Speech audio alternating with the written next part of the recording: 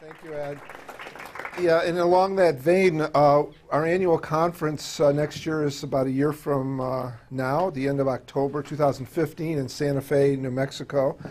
And uh, we've trained uh, eye doctors and other health professionals around the entire world in the field of using light therapy. And uh, so if you're interested, we'd love to have you come. And our website is uh, the College of Syntonic Optometry.com and uh, gives more details as the program unfolds. Oops, we lost my. Oh, there we go. All right, so I'm going to give a, a little bit more of an anecdotal uh, case today, uh, a case nonetheless. But uh, just as a little bit of background, I've been working in alternative eye care for almost 40 years. And uh, I've been doing microcurrent for over 20. Uh, 20 years ago, I patented and invented the first microcurrent unit to treat uh, macular degeneration and retinitis pigmentosa. Uh, that device has been licensed to a company called ScyFIX, which has been in front of the FDA now for almost seven years with thousands of cases trying to get it passed. And uh, it's really a challenge. It's so difficult to get medical devices through the FDA. So microcurrent has been around quite a while, and uh, it's an amazingly powerful tool. But today I'm going to talk about something a, a little different than microcurrent in this particular case. So uh, this case is a woman who came in the office. Uh, she had a, a nerve uh, paralysis, uh, a sixth cranial nerve, which uh, was a result of a brain surgery. She had no history of any health problems. She had a brain tumor on her right side.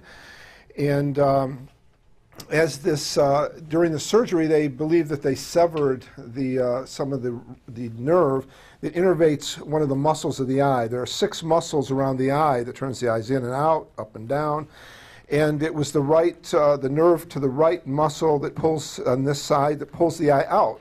So because the eye was not a, had no nerve energy to pull the eye out, the eye went in, and it went in a huge amount. Now, now I quantified that it's 40 diopters of what we call esotropia. 40 diopters means her eye was like in like this. I mean, it was totally in when she was completely normal prior to the surgery. So she had constant double vision. Normally, if you have an eye muscle problem, over years your brain suppresses it. It suppresses the image and you don't have double vision. But when you have an accident, a traumatic brain injury, or something, which was what this was, uh, damaged the nerve energy to the muscle. The muscle gave out and the eye was in. Not only was it in, but it was up. So the right eye was in and up, constant double vision. And uh, they, uh, her acuity was reduced a little bit to 2040 in that eye. It had been 2020 prior to that. And so, in order to alleviate the double vision, they put a patch over her eye. And uh, first of all, they, they tried to. Uh, also, another part of that case is that she had an enlarged blind spot in her visual field. When you saw the visual fields um, presented, the Campimeter fields, the blind spot was very enlarged and that eye, indicating swelling or damage to the optic uh, nerve in some way.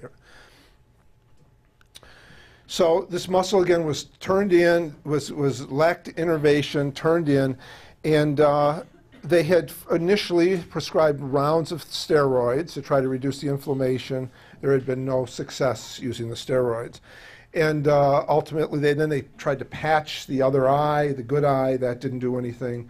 They tried uh, putting uh, prisms in front of her eye to try to get the eye. The eye had no movement and the, uh, able to move the eye out at all. So um, she came into the office wearing a patch and, uh, you know, saying that she couldn't function. And, and because of the patch and the eye crossing, she lost her job. She, she was uh, in the entertainment field. And uh, because of the cosmetics of it, uh, they actually let her go. And she was without work at this point. So she was really desperate. So we started to do some treatment. Uh, the first thing we did is we put a what's called a binasal occluder on her. That is, we put a tape in the middle of her eyes like this. So when the eye was in, she couldn't see double, but yet she could use the eyes peripherally. So that we instead of blocking the eye off, we blocked only the nasal portion, so the eye was crossed, but then she could see to the sides with that eye, and that just gave that took away the double vision and it didn't look as bad as having because we could put a little tape on glasses and it didn't look nearly as cosmetically bad as uh, walking around with a patch. Then we began with syntonic phototherapy. So we used different colors of frequencies of light to affect changes in the nervous system, the autonomic nervous system in particular, and also the nerve, nerve energy that supports all the muscle movements. And uh, in this particular case, when you have this type of uh, nerve damage, we use red-orange and we use yellow-green. And we did that daily for about a month, uh, and we just had uh, no success. There was just nothing changing at all. Uh, and it was at that point then we added a frequency-specific microcurrent, running two programs, the concussion program, which is for brain swelling, inflammation, and also the optic nerve protocol. And we were doing that three times a week, and uh, again, after two weeks, there was no change whatsoever. So we started to use a different technology, which I'm going to talk about, but I wanted to uh, share a little story about this because uh, uh, hopefully you'll find it interesting. Uh, my uh, experience has always been that I've believed in uh, team approaches to any kind of health problem, multidisciplinary. I've worked in HMOs. I worked in a couple of healing multidisciplinary uh, holistic health centers where we all would see the patient, doctors, physical therapists, chiropractor, nutrition, whole body. We would see people and we would work together to come up with solutions for the health problems. And it was always very profound, but it wasn't practical. We, we had these groups, so we had physicians in it also.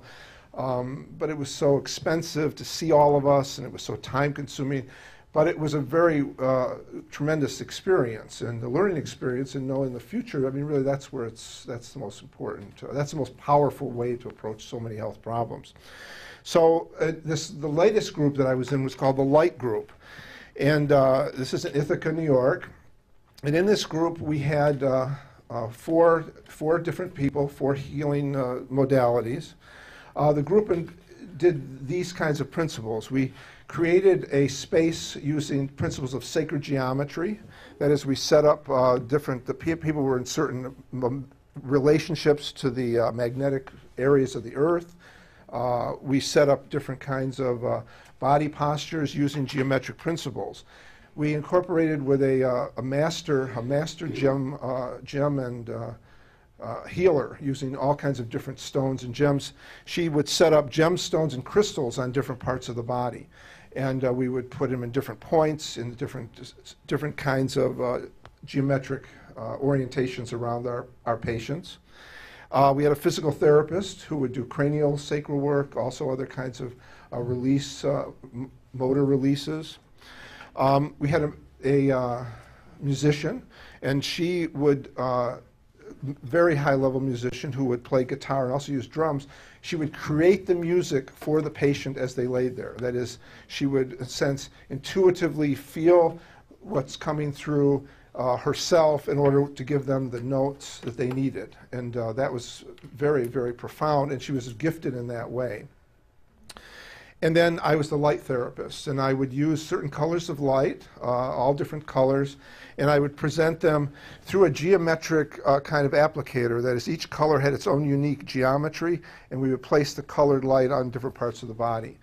And uh, so in the eyes and also in different parts of the body. And when we applied all these modalities at once, we had amazing results with people. People with, for emotional problems, we had people with intense pain, and they would have remarkable uh, results. That we would alleviate pain, we would have deep healing experiences using all these modalities at once. And you know, it was pretty far out and it was pretty impractical for every use, but we saw patients for about a couple of years. Like every month we would meet and do this. So I was very interested in uh, a device that came as I did a search on the internet. I was looking to buy another laser because we use low-level lasers in the office. We use uh, microcurrent, we use syntonics, nutraceuticals. We have uh, different applications of different kinds of energy modalities when we treat eye disease and trauma and things like that. And so I was looking for lasers to buy another laser, and I saw this uh, this laser called the delta laser, which you've heard about already and are going to hear more about. And in the delta laser, there was a geometrical presentation of red, yellow, violet, blue, and green, blue-green uh, LEDs. So they had the lights that we commonly use in light therapy. It had uh, pulsed infrared, so for deeper penetration. It had magnetic fields. uh, applications and it had ultrasound. So I said, wow, this is the light group in my hand in a handheld device. I was I just couldn't believe it that somebody had put together an instrument that kind of represented this whole experience I had with the light group. And as a result of that, I had Arzan uh, contacted him, and he came with and with and presented about the COMRA therapy, the coherent uh, multi-radiance therapy, and. Uh, it was, uh, it was, it's been led down a whole path, and you've heard about that uh, laser today. Uh, Lori talked about it, and you're going to hear more from Arzan as well. So anyway, uh, I just thought uh, I wanted to share that story about how we, uh, how I got in touch with this particular therapy and how it what it represented to me. It was like, wow, this here's something that's in my hand. And so we start. So I told this patient, well, I don't know about nerve damage. We were using the delta on other kinds of conditions, but I said, let's try it because we're not getting anywhere.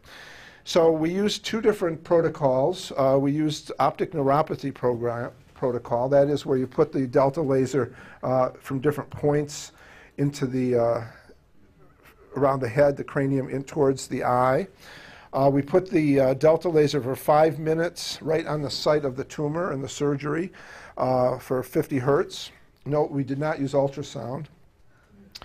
So after six sessions, um, even the second, third session, she says, you know, my, I, am starting not to see double as much. And I said, wow, well, that's great. And then she kept saying it's, it's getting better and better. And so after just, we had her come in three times a week, and in two weeks, she was able to actually turn the eyes out. She was regaining movement of the eye where it had been totally para paralyzed, and she started seeing single a lot of the time. And when I measured the degree where it was going in 40 diopters, huge amount of crossing, it was only going in nine. And uh, at far and at near, it was going in about 14. And she was able to pull it out, pull it out more and more. So we did six more sessions, and the crossing totally disappeared. It was her eye was straight. Uh, the vertical was almost gone, and it had been now just uh, what was that? 12 sessions. So that's about uh, we've been doing that now for twi- three times a week. So that's like four weeks. Her eye is completely straight. So then I had her go away for two weeks. I had her come back, and, uh, and I measured, and the crossing was even less. It went from nine to six. Uh, she was having no double vision whatsoever and no discomfort. So released her again, say, let's come back in another three weeks and see. So she came back, and now there was the six units of crossing was down to two. There was no vertical. There was no complaints. Her visual acuity was now 20/20. And uh, her, her, visual field was now normal. The blind spot had shrunk down to normal. And then I had her leave again, and she came back a month later, and everything was held, and now there was absolutely no crossing whatsoever. The eyes were completely aligned. They were actually a little bit out, like they're supposed to be. Um, she was overjoyed. Um, she said she felt totally normal now. Uh, she went out and got a job as a disc jockey at a radio station and got on there and started singing our praises on what we did in such a short time when they had offered her no hope. I mean, the, the surgeons were talking eventually trying to cut the eye muscles and pull the eye straight, which of course would not. Uh, would not do anything, I mean, in terms of the underlying pathology. So um, there was a case where uh, we tried some of the standard things that we do, the syntonics and the, mic and the microcurrent, but when we used the multi-frequency therapy, it seemed to be synergistic. There was synergy of all these different radiances, and that I think that um, here's a case where multi-radiances were effective when single energy applications were not working. So in a sense, uh, you know, it's it's more than uh, the sum is more than the whole whole here in terms of the uh, the therapies. So that was my case, and uh, since I knew it wasn't going to take 20 minutes, I can take any questions if you have any comments. Yes. Did the acuity in, in improve as well? Yeah, the acuity went to 2020. Yeah, it was 2040. It went to 2020. Wow. Yeah. Uh-huh. Yes lateral rectus that could not go out Mm-hmm. after all this and everything turned out to be 2020. When you make that lateral rectus go out. Yes, the eye now had full range of motion, complete restoration. So it was a, it, the, it wasn't a weak muscle; it was a weak. Uh, it was nerve, no ener- nerve energy to that muscle. So now she had full range of motion. Right. Revitalized muscle. Yeah, well, revitalized nerve, I think it's really, or muscle, but it's really the, the energy to the nerve. The last treatment is how many, how long ago was the last treatment? Oh, now, she came back a year later, it's held, it's, yeah, yeah, there's been no, no regression whatsoever. So it was a complete uh, restoration. Yes. My question is, what was the frequency when you initially started treating her with the summer, with the Delta? That was fif, I think five, five, and then fifty. The frequency. Oh, okay, I'm sorry, I meant the, the frequency of treatment, like how often? Oh, three times a week. Yeah, she was from out of town, so yeah, we did it three times a week. Yes. And where did you place it? So the, it was placed, the, the, the laser, you come, you sweep these points in towards the eye, and then it was placed on the eye, and then it was placed on the site of where the surgery was, which was in this area where the tumor was relieved. Yes.